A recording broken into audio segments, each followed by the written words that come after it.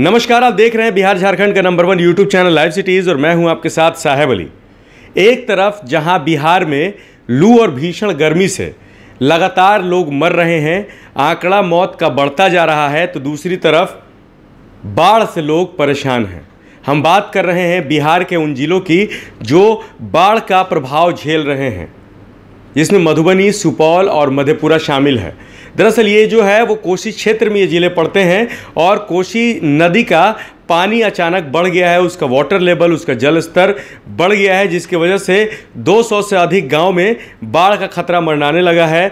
कितने घर ऐसे हैं जो पानी के प्रकोप में आ चुके हैं, उनके अंदर पानी जा चुका है और जो लोग हैं, वहाँ से पलायन करने को मजबूर हैं।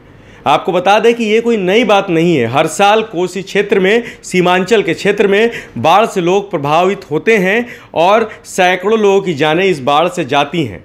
बिहार सरकार इस पर बनाने की बात करती है। बिहार सरकार तटबंध बनाने की बात करती है लेकिन ज़मीनी हकीकत कुछ भी नहीं सामने आ पाता है। कोसी अपना प्रभाव कोसी अपना कहर लगातार सीमांचल के क्षेत्रों में बरपाती है हर साल।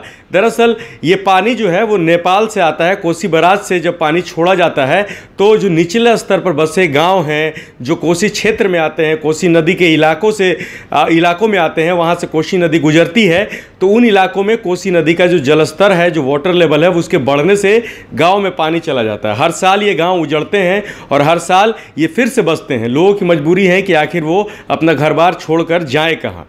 इस बीच एक तरफ़ जहाँ बिहार में गर्मी से मौत हो रही है, कहीं पर यह उम्मीद जताई जा रही है कि थोड़ी सी बारिश हो जाती थोड़ा सा राहत मिल जाता तो दूसरी तरफ़ लोग पानी से परेशान हैं। पानी जो कि कोसी नदी का है और उसके जल स्तर बढ़ने से वो पानी घरों में घुस गया है। लोग पलायन करने को मजबूर है। हालाँकि अभी जान माल की क्षति की बात नहीं आई है, किसी के हताहत होने की खबर नहीं आई है, लेकिन अलर्ट जारी कर दिया गया है मधेपुरा में, अलर्ट जारी किया गया है मधुबनी में और सुपौल में भी।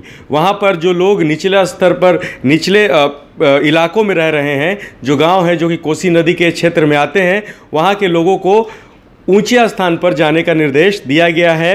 रेस्क्यू भी काम जो है वो चालू है। आपको बता दें कि बिहार का ये वो ज़िला है, बिहार के ये वो क्षेत्र हैं, जो हर साल इस कोसी के प्रकोप से प्रभावित होते हैं। यहाँ के लोग सरकार हर साल दावे करती है, बाढ़ को लेकर के करोड़ों रुपए खर्च किए जाते हैं।